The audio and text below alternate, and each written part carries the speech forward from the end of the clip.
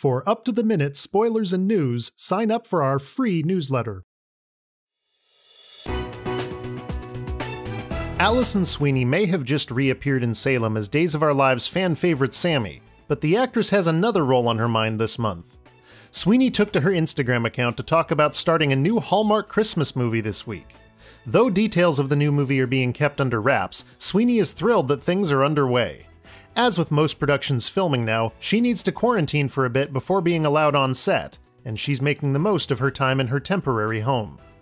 Loving my temporary quarantine home, she wrote next to a photo of her enjoying a nice summer day as she prepared to start filming. The owners were so generous as to share their beautiful garden with me, and I am making the most of it.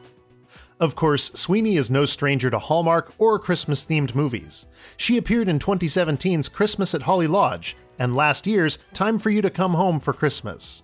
In the latter, the actress played Catherine, a single widowed mom venturing to her Virginia hometown for the holidays. On her way, she met up with Lucas Bryant's Jack on a train, and they developed a friendship that turned into something more thanks to the magic of Christmas. Her third Christmas themed movie is expected out this holiday season, and the actress admits she's very excited to get going on the film, even though it's not exactly winter weather outside. Funny to be working on a Christmas script in warm summer sun, she said. Fans need not worry. Sweeney will continue to appear on Days of Our Lives, as Sami is reportedly back on the canvas for a while, and she'll continue to create havoc for her kids and those around her. Days of Our Lives airs weekdays on NBC. Check local listings for airtimes.